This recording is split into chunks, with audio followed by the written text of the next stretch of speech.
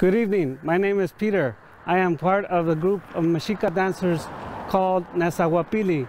This is our group of dancers also.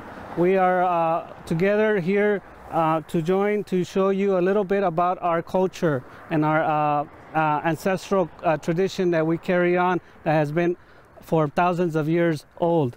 Uh, every, everyone is, as you can see, is dressed in what we call an atuendo.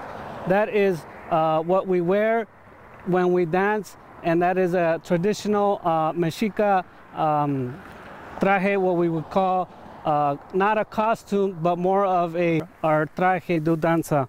What we wear, what we wear on our foot is what we call ayoyotes.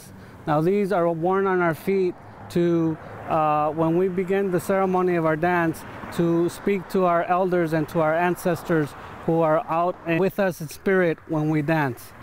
This is all traditional.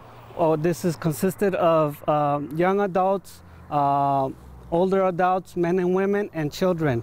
Uh, we are a traditional group and we dance to uh, God, our God, the Creator, and we do uh, a traditional uh, dance every time that is, is called for.